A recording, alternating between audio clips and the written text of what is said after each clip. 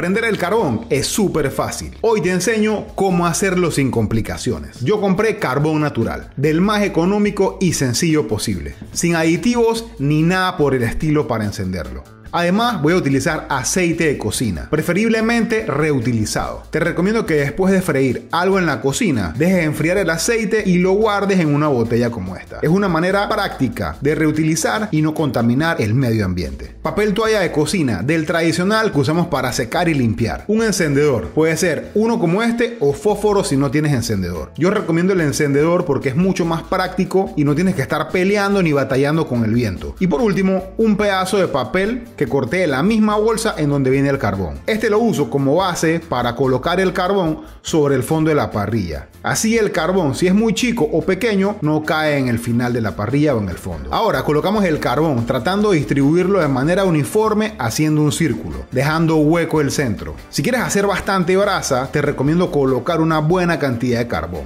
Con el papel toalla hacemos una especie de bolsita algo así. No tiene que ser perfecta, en el centro, a mí me gusta colocar un pedazo de carbón chico. ¿Y por qué hago esto? Es para mantener la forma de la bolsita y que no se abra cuando la llene.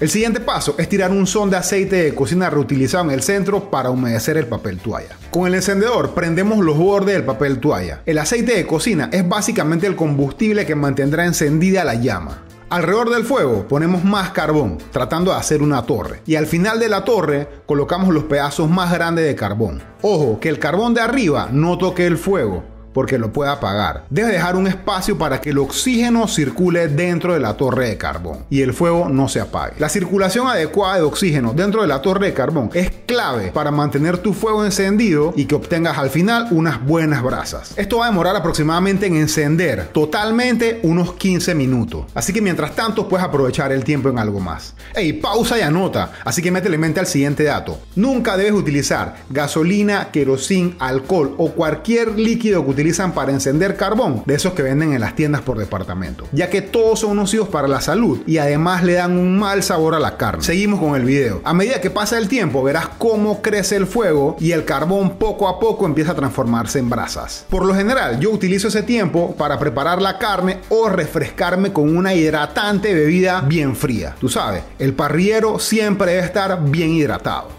Por cierto, si llegaste hasta aquí, te invito a que te suscribas a mi canal y así no te perderás ninguno de mis videos. Además es totalmente gratis. Una vez listo el carbón, colocamos las parrillas, cepillamos y dejamos que calienten. Y de esta manera ya estamos listos y ready para nuestro asado. Si quieres seguir aprendiendo de asados y parrilla, dale click al siguiente video recomendado de mi canal. Nos pillamos. ¡Qué sopa!